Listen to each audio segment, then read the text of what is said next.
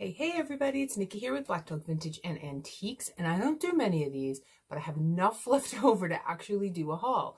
Usually I go out sourcing on Saturdays, and whatever I get on that Saturday usually ends up in my live sales for the week. So you get more of a preview than a haul. So I have enough stuff left over because I hit some honey holes. So stick around and see what I got. Now, the first couple things I'm going to show you, I'm going to tell you where they're going to be and when they're going to be. Um, there's a group of us getting together at the end of May, May 29th to be exact, and we're going to be doing a, oh, I'm trying to remember the exact name of it, Wicked, Wild, and Weird Oddities Extravaganza, or it's something like that. Um, and there'll be a bunch of us. There'll be static drop pops and you'll just kind of flow from one to the other. So I'll show you a couple things that'll probably end up in that sale that I found. Oh my goodness. Look at these guys. Look at how creepy. They are fantastic. The fact that his arm, his sleeve is all shredded. They're like little zombie bride and groom. So they're the little celluloid guys in some very worn out clothing.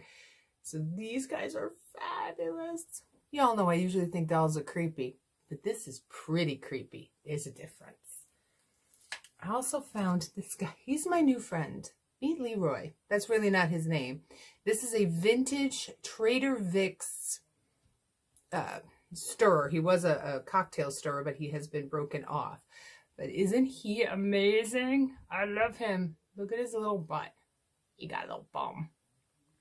He's just, there's just something kind of cool and wacky and awesome about him. So he'll probably end up in that wicked weird sale too. now I always pick up Christmas when I find it, no matter what time of the year. So I have Christmas playing cards from 19, I think these are 1988. Yeah, 19, no, 1986. From 1986. And these have four suits, reindeer, snowman, elf, and Christmas tree.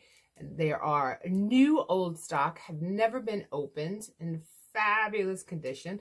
So, you know, Christmas in July, maybe. Another Christmas thing I found is Christmas treats from the 80s. Bring back a little bit of my childhood being a small little whippersnapper. And when this book was printed in 1981, I was all like six years old.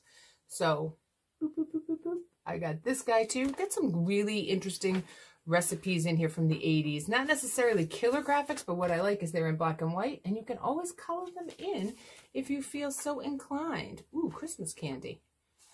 A popcorn house. I can think of better uses for popcorn. Not gonna lie. Marzipan, snowman, and holly leaves. I'm making myself hungry. So this will be out there. Oh, look at that.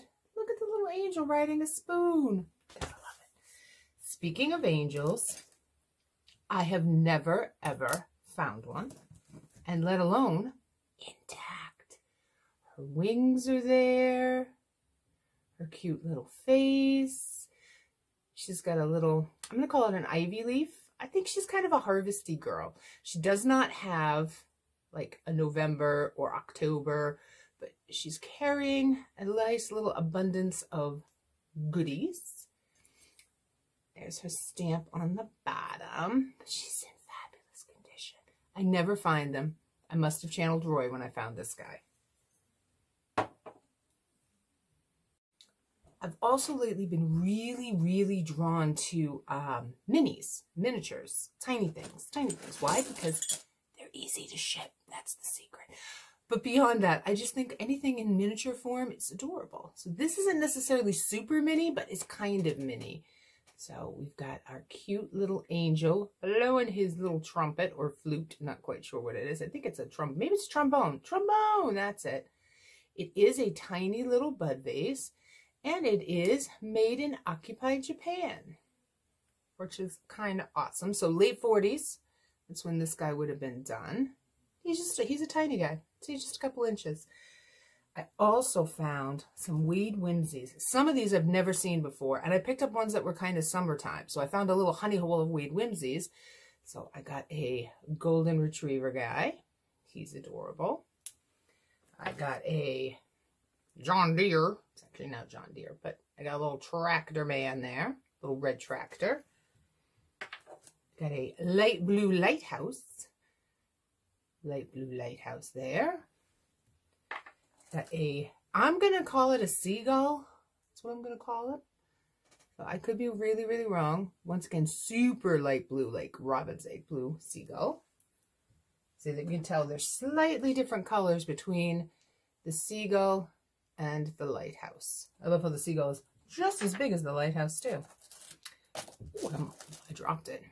I've got a white sailboat. And then these guys aren't really summer. Oh, wait, no. Wait, I found there's one more summer guy down. He's hiding. A little tiny seahorse, a little orange seahorse. These are the guys that aren't summery. We've got the zebra or zebra. We have a zebra. I want to say it like that. I want to be fancy. And two little kitties. Oh, aren't they sweet? So those are my minis. And, of course, I did pick up two brooches. Um, one of them I'll give you a good show here. Check this guy out. This guy is humongous. And yes, it glows. Well, let's turn off my light. And yes, it glows. Ooh, isn't that amazing? I think it's awesome. So this little bad boy here, ooh, I almost knocked over my drink. Let me turn my light back on. Hold on. Boo! is a coral brooch. So a very large and weighty coral brooch. So this that guy I found. Very excited when I found that. I got it in the barn. Guess what? The barn reopened, everyone. Best, best deals at the barn. I did get a lot of ephemera too. I'll show you that in a minute, but I'm going to show you another guy who might end up in my oddity sale. Then again, he might also end up in my Thursday sale, which is going to be with Claudia and John and Sugar Honey Iced Tea. I think it's Sean, Skunky Junk. So Sean, John, Claudia, and me on Thursday. And it's going to be a wood, metal, and stone sale. And I found this little guy. I think whole new definition to the word Venus, everyone. Whole new little definition. He's a little peon angel. I love him. You've seen these bigger, you've seen these smaller. If you are a Money Pit fan, you recognize this statue. It does say Bruxelles on the bottom there. And he is a little weighty brass guy. Um, I don't know if I saw somewhere that he was a bottle opener, but I don't know. I don't think so. I think he's just a miniature bronze statue of the famous statue. So he may end up in the oddity sale. We'll see. Might end up in the metal sale. We'll see. Stay tuned for that. And I've got this guy right here. He's just cute. I had to pick him up. Made in Japan. He's a little toothpick holder guy. He has his Japan stamp on the bottom. And I just thought he was really kind of sweet and cute. And I know Claudia and I did this bottle sale, um, glass sale. If you've seen our glass with glass sale, which is Mondays, every Monday at one o'clock in the afternoon, we do about an hour. Um, we did a whole thing on bottles.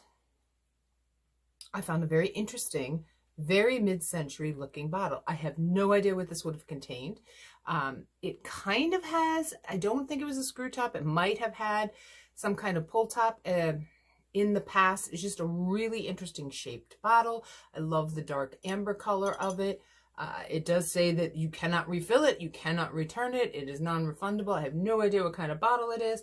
On the bottom, it does have an N in a square, which I haven't found that mark yet. Yet being the operative word. Because you never know. I might find it. Hmm. Okay, I promised you some ephemera. I got some really neat ephemera. So I found a whole fistful, so saying handful, fistful of these useful birds of America cards. These are from 1930s, 1938 or so. Arm & Hammer, I guess, had a run of these kind of like trading cards. And they come with all the writing and the information on the back. I have a nice little stack of these Really great for you uh, scrapbookers and junk journalers or just uh, multimedia artists.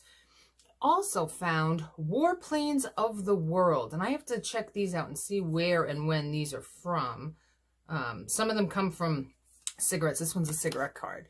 So that's an airplane. And like I said, this, ooh, this one is a cigarette card. Totally held that upside down. That's okay. Um, this one, these here, so that first one was different than the rest of them. These here are slightly different. This is, it says Turkish. This is a Turkish plane. Uh, 24 different planes to complete the set. Trade with your friends. Get a complete set of warplane pictures for yourself. So I got to look these guys up a little bit more to see when these are from, but I kind of thought they were interesting. You got a plane from England, another plane from England. So I got those. And my photo lady is back open. So I got a whole, look at how many I got. A whole bunch, whole bunch of cabinet cards or the minis. Now, some of these are really interesting.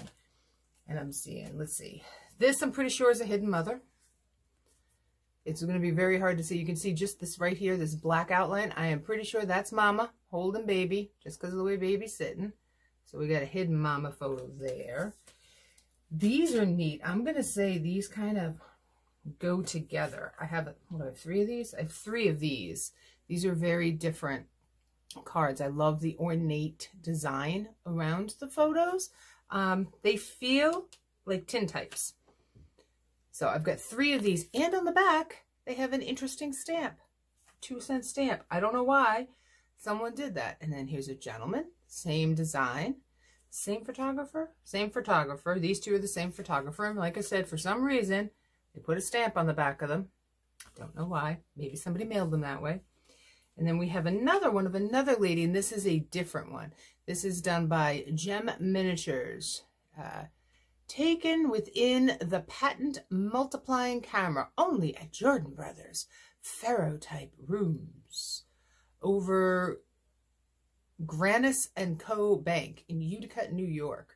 So I have three of these with these really pretty ornate designs on them.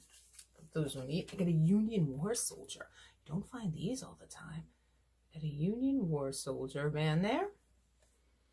And I always, always pick up when I see them the kid photos. So this is Miss Nellie, and I can't really read the last name, age five.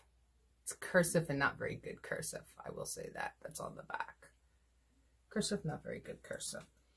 I said, I always pick up the little kitty photos when I find them. She's adorable. Here's another really neat, ornate set of cabinet cards right there. I think those guys are really fabulous. My son thinks he looks like Leonardo DiCaprio. What do you think? Let me know in the comments if you think he looks like Leo. Love me a good Leo. Then we've got then we've got my stern ladies. Like these ladies are don't mess with these ladies. That's what I'm saying. this one looks like Whistler's mother. This one just looks like that oh that old biddy you don't want to bump into on the street. Like she would have smacked you with a ruler for sure. She's a little scary. And I got one larger one, and it was more because of the lace cap that she was wearing. And the fact that she had gotten to the age that she did. I'm really thinking this is definitely an 1860s, 1850s kind of photo. So a really nice handful of photos. And rounding out my ephemera round because whenever I see it, I pick it up. I love ephemera. I love the his the idea of the history, the idea that paper has lasted so long as it's translated down the years, and that's why I like it. I like this for a whole different reason. This is 1978 set of Ziggy cards, and both decks are there and in very good shape. I just think these are these are fun little cards. See. Here's the one. Wishing for a pot of rainbow or a pot of bones. Gotta love that. It's me and Nyx. I'm wishing for gold. She's wishing for bones at the end of the rainbow. And then chasing the rainbow. So like I said, they're all there. I picked up a couple of interesting cookbooks. I've got Traditional Scottish Cookery. This one is from the 80s, I think. Oh, I'm sorry, 1970. No, I don't know, maybe 1987. I don't know, there's a bunch of dates in here. But this has anything and everything if you wanted to cook like a Scottish person. And high tea and supper recipes. High tea and supper recipes England. I like that it has the spine like this. Um, this one does not say when either, but this was published in England as well. And this just has everything you could want for high tea in it recipe. So if you're looking to sausage pie, if you're looking to branch out your culinary background, that's the way to do it. And last but certainly not least, a book. And it looks like a very plain book. The spine is kind of chewed up beat up. Same thing with the corners here. But we've rough cut pages. I love that. I had to pick this up, and I pick these up whenever I find them, because they usually go very well on eBay, but I'm going to give you all a first crack at it this time around. Alice in Wonderland Through the Looking Glass, and it is illustrated. So this is a fabulous book, and old. This one does not have, and I don't know why it doesn't have it, but it doesn't, does not have a uh, date publishing date, but it is printed in New York by, and I'll probably have to look up the publisher to see when it has been published, by J.J. Little and Ives Company, New York. So a couple things here that still need a little bit of research. So there you go. That was it. That was my mini haul. Actually, maybe not so many because I showed you quite a few things. And I thank you for sticking around and hanging out with me. I do live sales every Sunday, Monday, and Tuesday. Uh, Try to drop videos a couple times a week. Sometimes that works out in my favor, sometimes it doesn't.